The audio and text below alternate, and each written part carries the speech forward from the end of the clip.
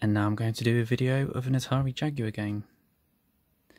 This is new to my collection, but it's not a new game. In fact, it's from 1994, Club Drive, and if you know about the Atari Jaguar, you might have heard of this game before. I don't really know how to categorise this game. I guess you could call it a a sandbox game, um, but it's also a bit of a just a tech demo, really. So it's a sort of a racer, but there's also a collect 'em up mode. Uh, but it is very, very bare bones. There's a very unusual story in the instruction manual, um, which I'll I'll show you there. You can read that in your own time. Let's play Club Drive.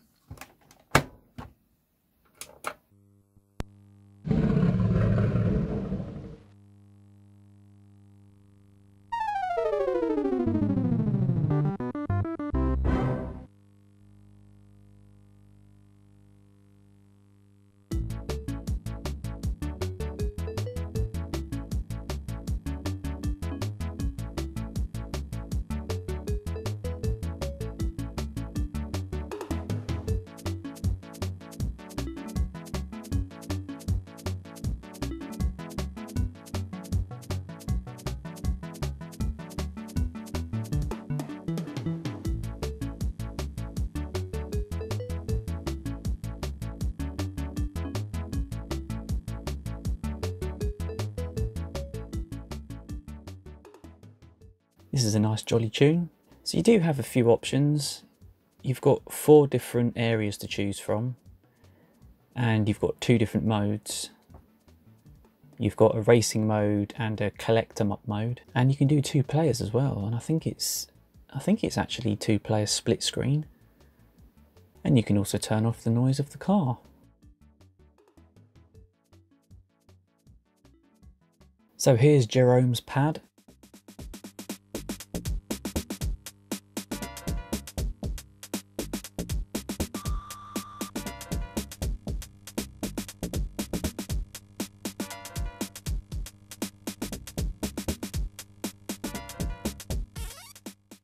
And this is Club Drive. It's actually a, a 3D polygon third person racing game. And the race is not actually a circuit. You go from A to B and then from B back to A again. And you do technically have a little mini map at the bottom there, but it's so small that I can't really, it's not really any use to me. So that's Jerome's cat. Believe it or not, that is supposed to be a cat. I'm quite surprised they even programmed in something like that.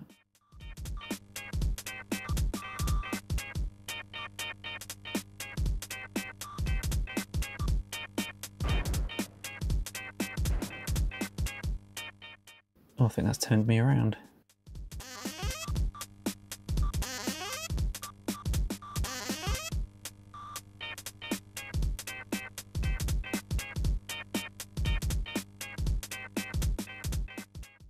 So the details are very, very low, which is not really surprising on a Jaguar, but I was surprised by how well this runs. Usually the Jaguar is really, really slow at 3D. So I was quite pleasantly surprised by how well this runs, even though there's really, there isn't much detail and there isn't really much going on. Not long ago I played Toy Commander on the Dreamcast and this actually reminds me of that a little bit. It's almost like a very, very prototype version of that sort of thing.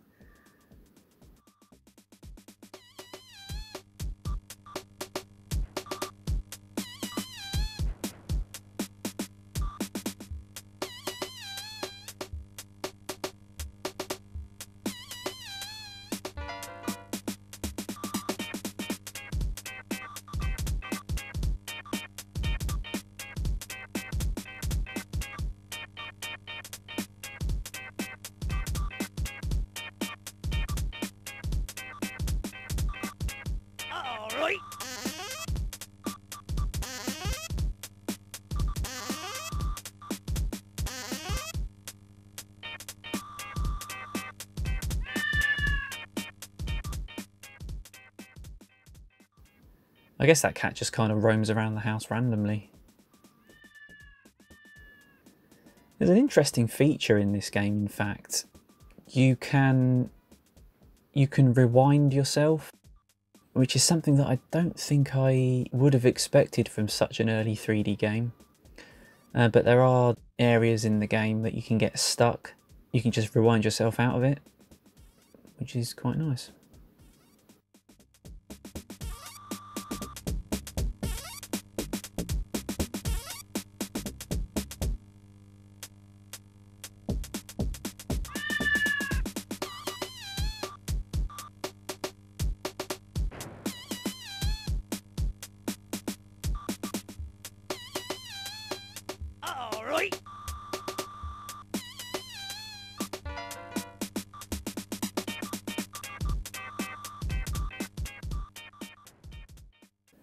Let's go to San Francisco.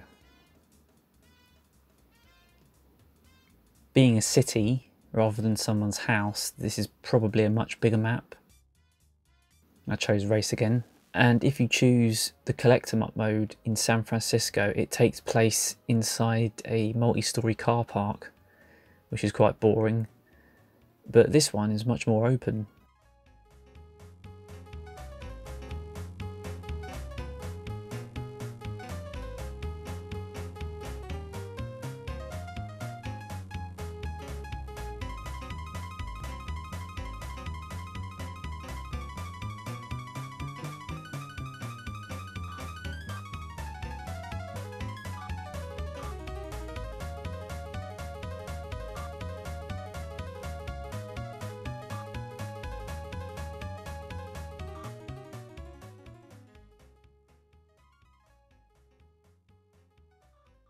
You can see there they've actually tried, they have actually tried to build an entire city.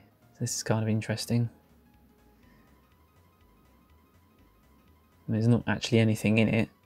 There's no other cars or any objectives or anything. You, in fact, you're not even racing against a, a computer-controlled car. And this is very, very bare bones. I I did have a quick look at what the review scores were of this game originally, and even back in 1994, this game got lots of really, really bad, really low scores, like uh, 55%, that sort of thing. They weren't blown away by it being 3D. You've got to have a game in there too. Actually, there's quite a bit of detail on those buildings.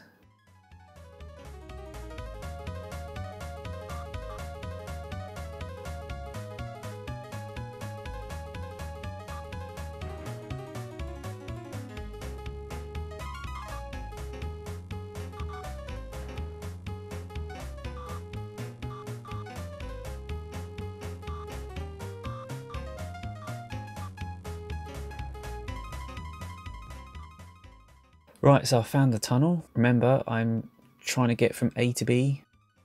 Let's rewind out of there.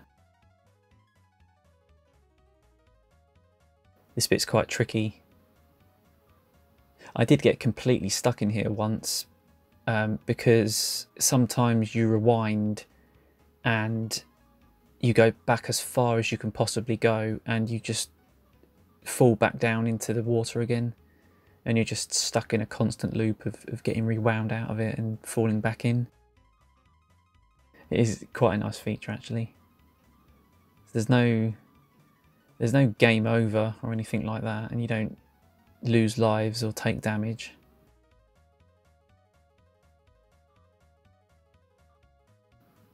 I do kind of wonder what people thought of the game at the time. Because if you'd bought an Atari Jaguar in 1994, that was when 3D was still very new. So this would still be, I don't know, it would be interesting to play it. But to me, it sort of feels more like a, like the sort of game that you'd find on a, a home computer, like the Amiga. Like a, like a really early flight simulator sort of thing. I think that's the best comparison I can make. It sort of feels like a very early flight simulator.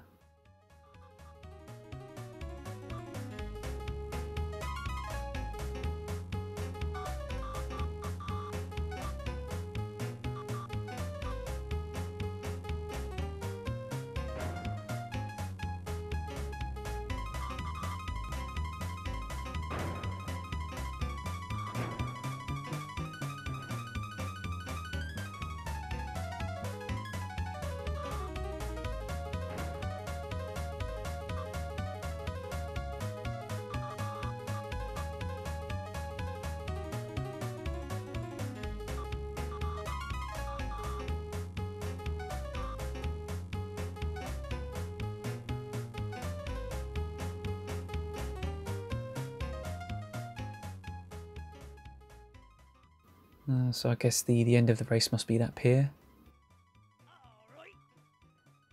That checkerboard pattern warped a little bit, didn't it?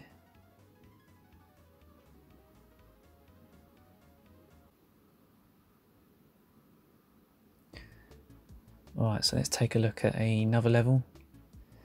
So what I've done here is that I've uh, I've saved some old footage before my computer broke.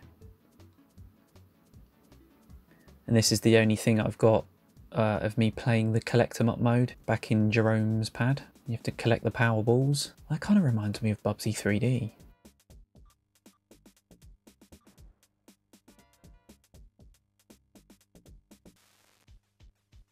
Well, we're back here again, but this is a, a completely different map as far as I can see. Oh yeah, and you get these little doorways as well. So I imagine this is his bedroom.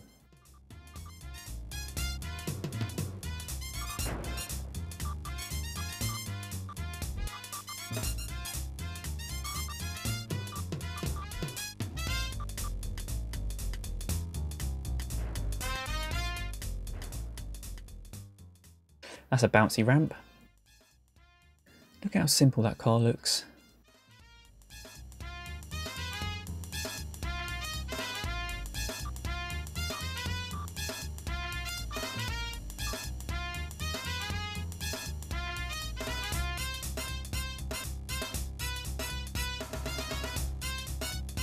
Right.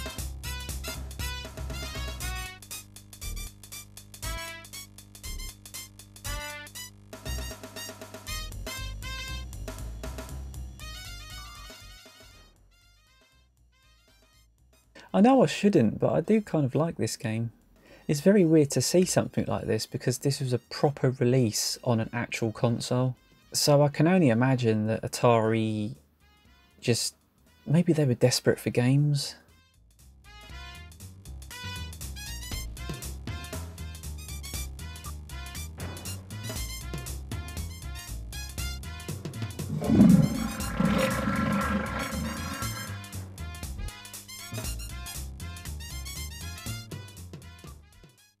This would never have been released on the PlayStation.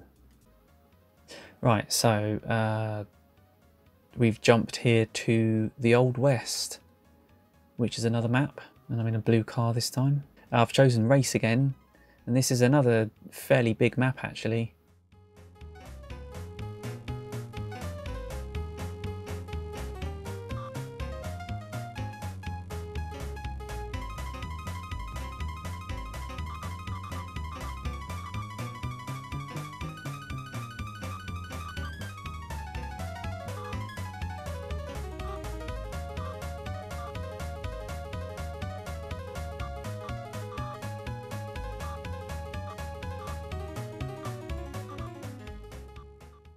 Maybe this was designed to be played with two players because it's not really much of a race if you do it by yourself. Don't drive over there again. So the, the best comparison to another game on a different console I can make really would be Virtua Racing Deluxe on the 32X which I do want to do a video of. I think the Jaguar is probably more powerful than the 32X. Um, if you can imagine a 3D game like this with even less detail. But Virtua Racing Deluxe is a much, much better game. So maybe Sega were just better at making games than whoever made this.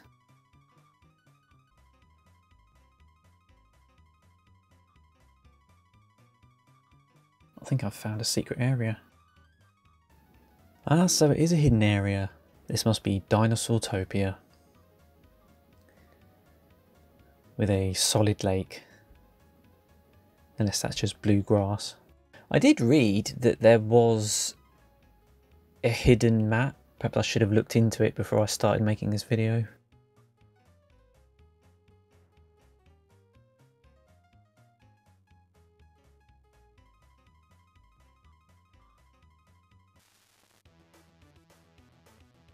Because this game is so simple, I am struggling to find things to say about it. I kind of wonder if I would have liked this game at the time. If I had owned Jaguar and I'd bought this game in 1994, would I have liked it simply because it's a 3D game?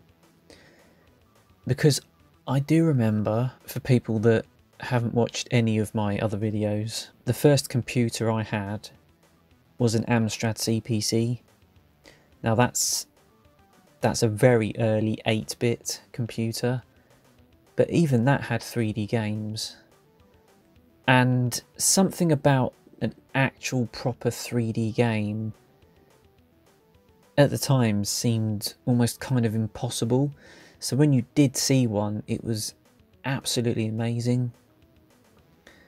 And I can think of a couple of examples. The first one is, is actually a series of games, and they were known as uh, Freescape games. There was a series of them of about four or five different games, and uh, and they were very slow paced first person exploration games.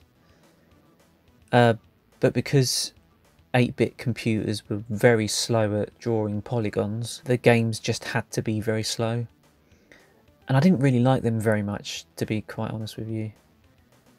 Yeah, long story short, I, I just didn't like them very much. Although, in hindsight, technically speaking, they are quite an amazing achievement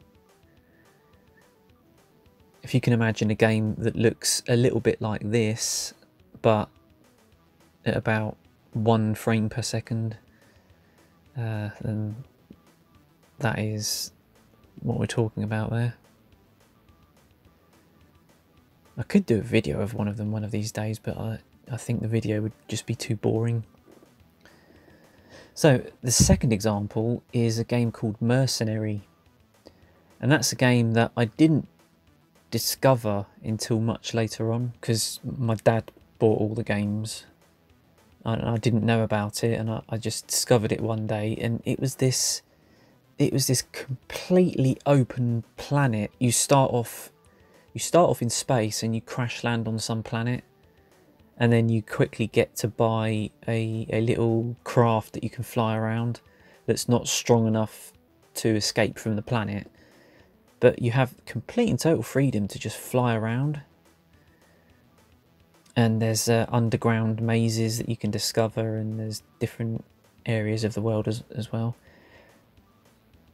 It's not that impressive because it's all wireframe 3D, but I had a lot of fun with that just flying around just because it was in 3D and it was a lot different to a lot of the other games that I had on my Amstrad. And the third example is is actually that Atari 3D game Hard Driving. I think I've pronounced that wrong. Hard Driving. Because that was converted to 8-bit computers. So it was on the ZX Spectrum Commodore 64 and it was on the Amstrad CPC. I had a copy of that but unfortunately my copy didn't work and I didn't get to try it until much later on when obviously that sort of thing is a bit obsolete after the PlayStation, PlayStation 2.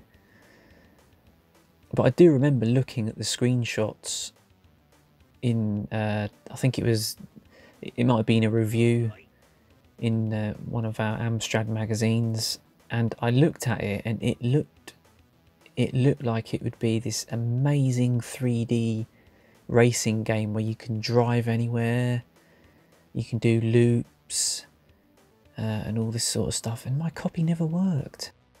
Yeah, by the time I got to try it, it was too late. The, the wow factor of playing a 3D game was lost at that point. Now, it's taking me a long time to get to the, the point of what I'm trying to say here, but playing this game now is a lot different to playing it in 1994. Because keep in mind, the Jaguar was probably the first home console that had 3D built in. So it was designed with 3D in mind. And anyone buying one probably would be playing 3D games for the first time. So the reviews were terrible for Club Drive. I think there might have been a lot of people that were really happy just to be playing a 3D game on their console. So anyway, that is a look, a pretty long look at Club Drive. It really isn't a good game. It's pretty terrible actually, but uh, if you're like me, then you can still find some enjoyment with it. So the video ends.